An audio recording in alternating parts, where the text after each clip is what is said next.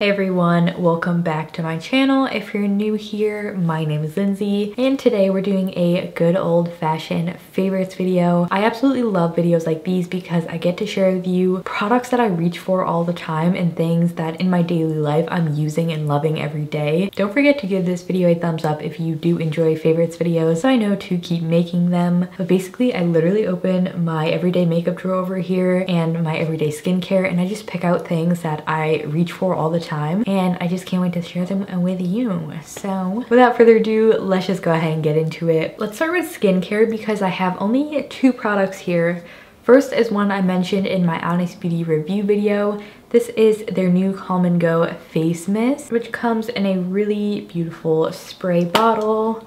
The mister on this is great. It's like a continuous mist super fine. I've actually been loving this as a setting mist. It's also beautiful as a skincare mist, kind of what it's made for. Really milky and calming and hydrating, non-irritating, does not have a strong scent to it. I believe it's fragrance free because it's the sensitive skin line. I've just been reaching for this a ton. I kind of think it's replaced my Josh Rosebrook Hydrating Accelerator, which I had recently repurchased, but honestly comparing those two, like I'm kind of liking this one a little bit better. So this I've been keeping by my makeup vanity just to set my my makeup with if I'm wearing a matte foundation. One I'm actually going to be talking about I'll apply that and it just makes my skin feel really hydrated without being oily or any of that stuff. There is a fruit fly on my light what you doing? I don't got any fruit up here. All right, second product is another Honest Beauty product. This one is new to me. I just purchased this. I saw it on Amazon. It's their new Honestly Bright Eyes Tinted Eye Cream. Now, the reason I wanted this is because I do have, I don't really feel like I have super dark circles, but I am very fair. So any coloration in my skin really pops. So I wanted something that I could wear when I'm doing like a no makeup look, basically just wearing a tinted sunscreen. But I wanted something to cover my under eyes without having to put concealer So this seemed like the perfect solution and it really was.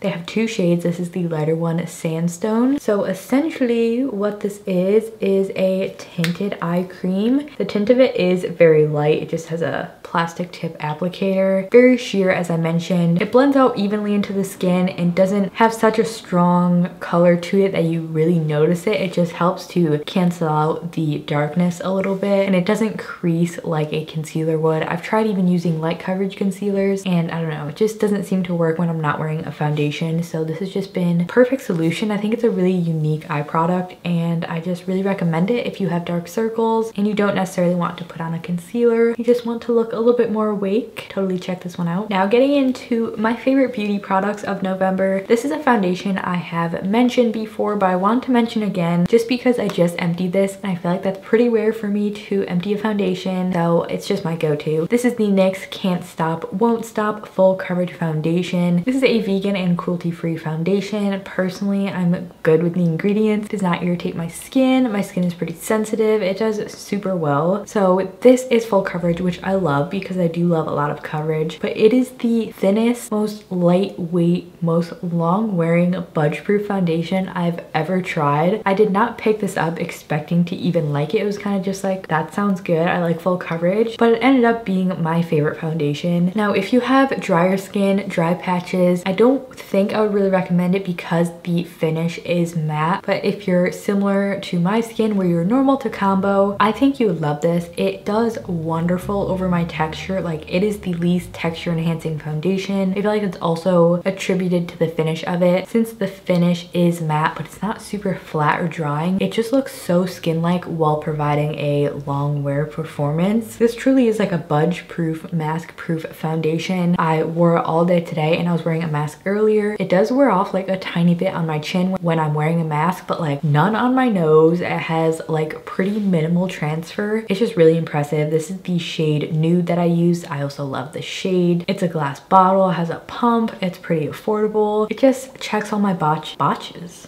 What is that? It just checks all of my boxes and I do already have a backup right here because I knew I could not live without it. So A plus in my book. I would love to find an even cleaner foundation that has a similar like finish and wear to this. If you guys have a favorite, definitely let me know. Most of my favorite clean foundations are more of that dewy natural skin finish. So still waiting on one of those clean beauty. Moving along to my my next favorite, which is from Haley's Beauty. This is called the Retouch Perfecting Powder Loose Setting Powder. Comes in a plastic jar. And this is a really nice, just simple, effective powder. I don't really have anything like exuberant to say about it other than it works and keeps me mattified and doesn't look cakey. My only con with this is I find it has like a very slight yellow undertone. So when I put it under my eyes, it does seem to darken my concealer a tad, but I do like it all over my face. Other than that, it's something that I've just been reaching for because it worked. Now for cheek products, I actually have two cream products to mention. Surprisingly, you guys know I'm not a huge, huge cream product person. These two I recently tried and just really enjoyed. First is from Rituel de Fille. This is the Color Nectar Pigment Balm. This is the shade Bee Sting, which is a pretty classic, just rosy pink. It's on the sheer side, but can definitely be built up. A little finger swatch there, it's kind of weird, but it's actually pretty pigmented but it shears out nicely is kind of what I meant to say. So this I love because it offers a really like fresh look to the skin without being oily or too dewy. I feel like I say this about all my favorite cream products, but the reason that I love them is because they're not so emollient that they slide off the face or transfer or make me look oily. So this I've really been enjoying. They have a ton of like unique shades as well and I've been reaching for that for a nice little winter glow. And then to go along with that, this is the Kjaer Weis highlight. I believe this is the shade Ravishing. I will link it below though. So you can purchase this highlight separately and not get the packaging and it ends up being a lot cheaper, but I already had this on hand so I just popped this in. This shade is very, very pretty. I find it a little bit difficult to find a light gold when I'm fair that's not too deep and doesn't cast on my skin and I don't find that this one does at all. And because of that it's one of the only highlights that's a light gold in my collection that I find very wearable. Super pretty and creamy. It's more of a dry finish and the pearl is super fine and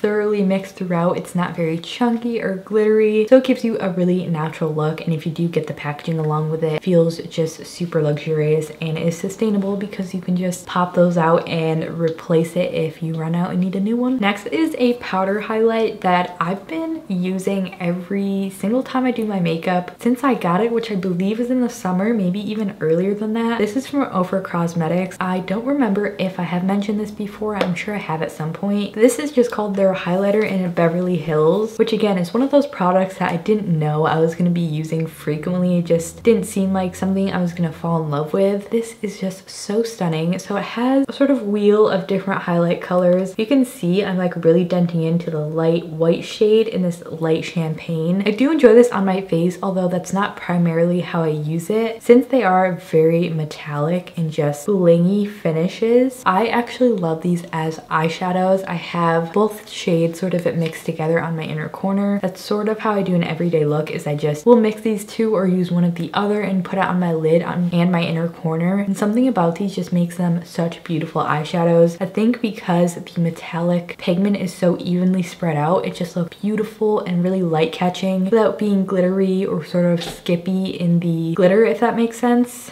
Not that it's glittery. It's just really smooth and makes your eyelids pop. So that's why I love this. I use the other shades as well, but yeah, really beautiful. Every time I try to use a different shade for my lid, I'm always like, I just wish I used that. It looks so much better. I don't know what kind of magic that little formula is, but they're very creamy and smooth and just Perfect. Moving along, I have two more eyeshadow products to share. First is from Kaja. This is a little eyeshadow stack, which is fun. These are called their Beauty Bentos, and this one's the shade 08 Chocolate Dahlia. So you pop it open, and the first shade here is like this metallic champagne. The middle is a medium, pretty neutral warm brown. And then the very bottom is just a deep matte brown. So this one has two mattes and a shimmer. Not all of these have mattes in them. Some of them are all shimmers, but this is just so perfect for an everyday look. Literally perfect for travel. Not that I'm traveling anytime soon, but I imagine it would be because it's so compact. You could just bring this as your eyeshadow because to me, this is really all I need to do a look. As a shimmer, it has like a transition shade and then the deep brown, which you can use in your crease or as a shadow liner. So the formulas of these are really beautiful and I just love the convenience and little compact of it all. Next, we have a new launch from Bodyography. This is their, I don't know what collection this is called, but it's a offspring of their glitter pigment. It is a glitter pigment, but I think these are designed to be a little bit more sheer and reflective and sort of like transforming colors. This one is the shade Spirit Quartz. It has a white base that has a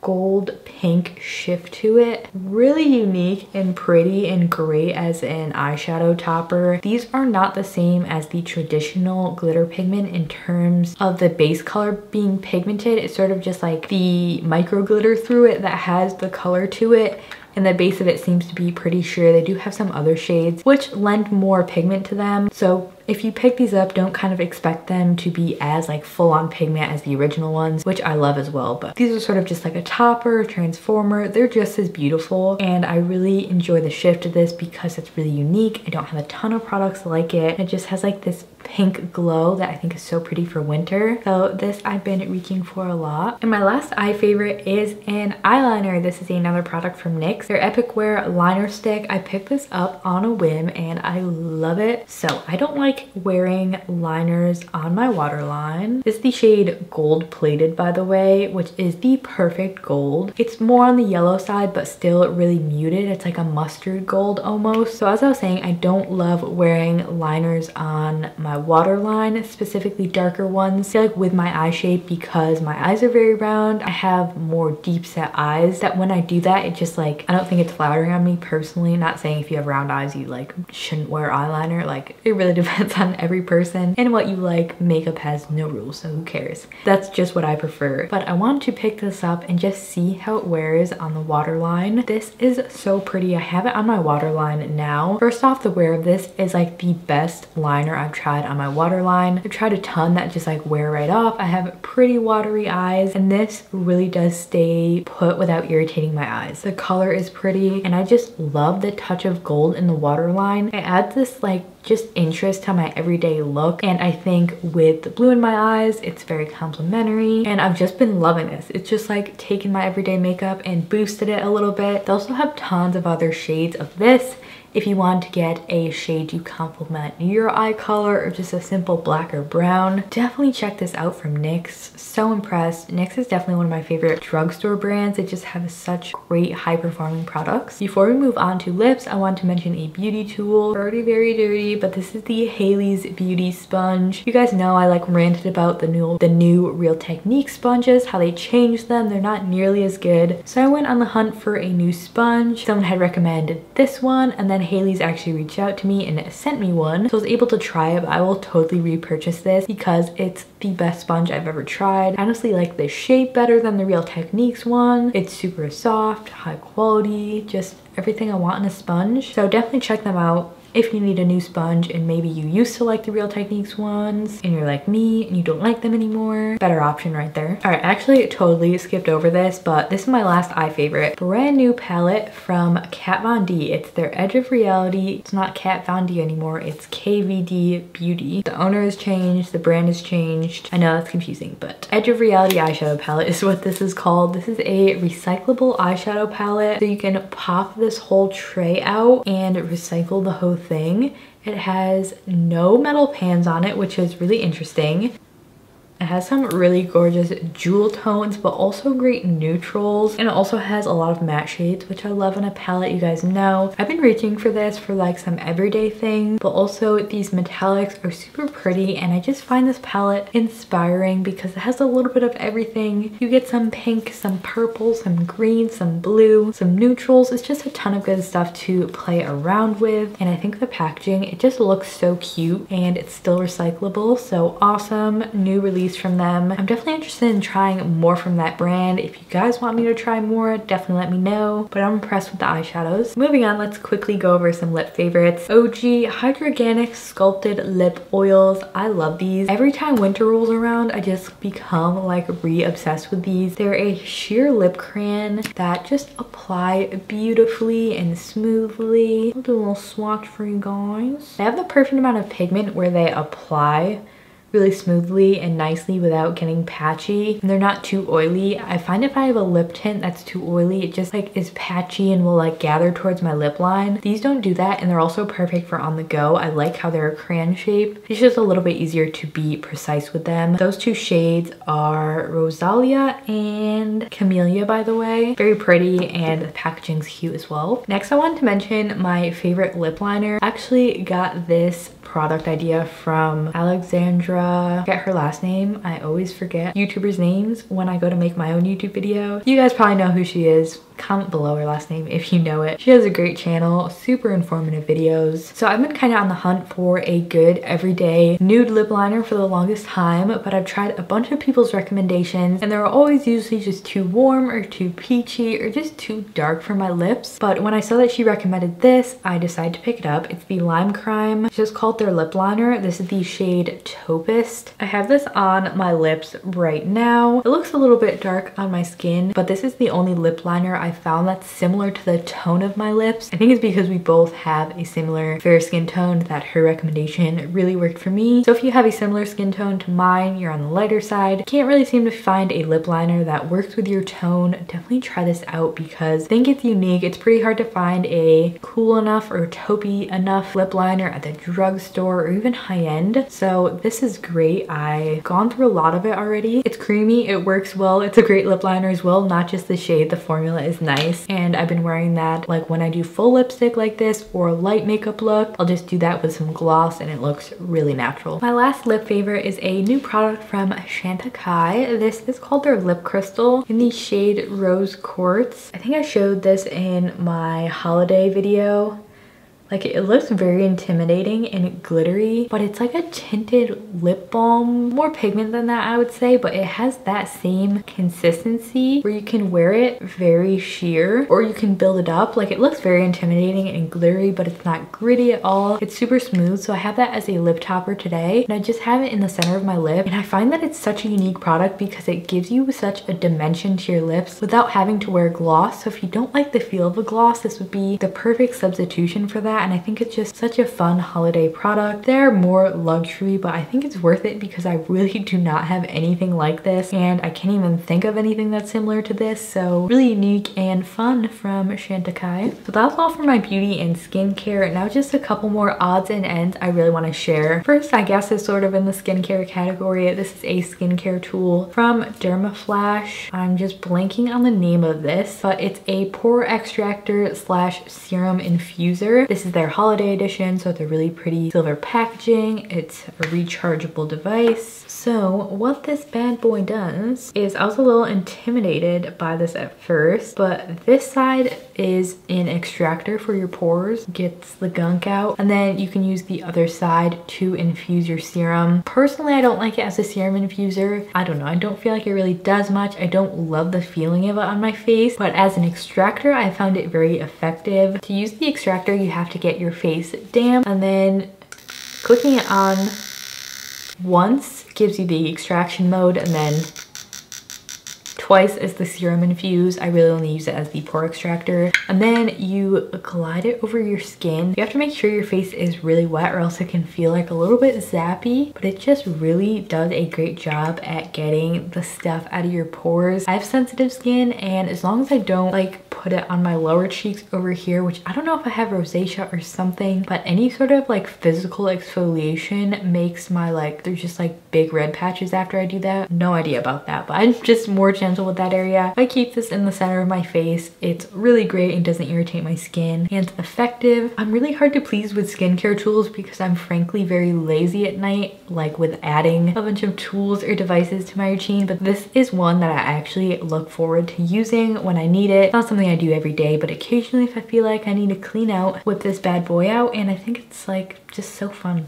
One perfume I want to mention, I got this during the Credo sale from Ded Cool. This is called their fragrance number three. Very uh, creative name. But anyway, the notes of this I believe are like violet and saffron maybe. I don't usually like florals. I like very musky, woodsy scents, which is why I want to pick this up because I have so many scents similar similar to that. I wanted something a little bit different and I don't know why I even got this. Like I just saw it and I was like, oh yeah, I'll try it. It's pretty expensive. I ended up loving the scent of it. If you don't like florals, I feel like this is like a floral for people who don't love florals if that makes sense. It's pretty sweet and feminine and light, but it has this undertone of just like a complexity and it's, I don't know, it just like makes it a little bit more edgy and less grandma-y smelling. It doesn't smell like old school at all. It's just such a beautifully crafted fragrance. I will link it below if you want to read the actual notes in case my interesting description of it didn't uh, sell you on it. But I love this and I want to try more from the brand for sure. It's also the longest lasting clean perfume that I've personally tried. It stays on like nothing, like on your clothes, on your hair. Super potent,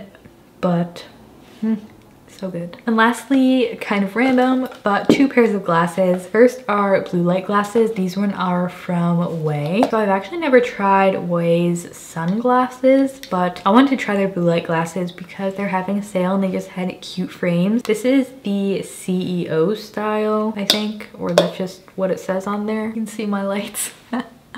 All right, they look kind of crazy right now. Anyway, I think they're pretty cute. I like to wear them because I frequently get like light induced migraines sometimes if I'm looking at my computer for too long. So these really do help with that and they're good to wear at night if you're working at night to help your little sleep schedule. And the other ones are from this brand Italic. This case is so nice. So Italic is they sell products from the same manufacturers as higher end luxury brands but they just sell them at a lower price which is really really cool concept and I had these sunglasses from them. I don't know what style they are, but they're like this slimmer cat eye style, which I personally love for my face shape. Since I don't have really any angles on my face, I like to have angular glasses. That's also why I got this style here. And they're definitely something a little bit smaller than I would typically go for. I actually have like a bigger version of these from Amazon, which if I'm like just really want full face coverage, I'll go with those. But these definitely feel way more higher quality, like just the hinges of them. They're very nice. So these are my fancy glasses if I want to be fancy that day. But yeah, I really enjoy them. I think the shape and style is nice. And I feel like sunglasses are one of those things where it's like, is the higher price actually worth it? These do feel nicer than my Amazon ones, but it's not like I'm buying Prada glasses or anything so really nice. All right, so that was all for my November favorites. I hope you enjoyed this video. I'd love to know in the comments below one thing you've been loving. Feel free to share more as well, but I just love to hear what you guys are loving. Doesn't necessarily have to be beauty related. Anything you're feeling, you got a new pan to cook with, you got a new drink that's good, you tried a new sheet set. That's kind of weird. I don't know, anything you guys want, definitely let me know. Thank you for watching. Don't forget to subscribe if you haven't already and give this video a like if you enjoyed at any point. But thanks again for watching and I'll see you in my next video. Bye.